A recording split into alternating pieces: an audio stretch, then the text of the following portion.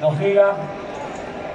por los héroes, sí, atención por favor, por los héroes que ofrecieron sus vidas luchando contra el COVID-19, que hoy están en el cielo, nos están acompañando y ya son unos ángeles más. Este minuto de silencio también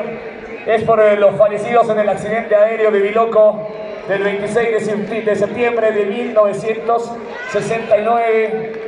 y también Juan Carlos Costa Salmón, maestros del periodismo deportivo, pues quien falleció la jornada de hoy, que también se va al cielo, así que el momento que nos indique el árbitro, por favor, vamos a hacer un minuto de silencio, ¿ok?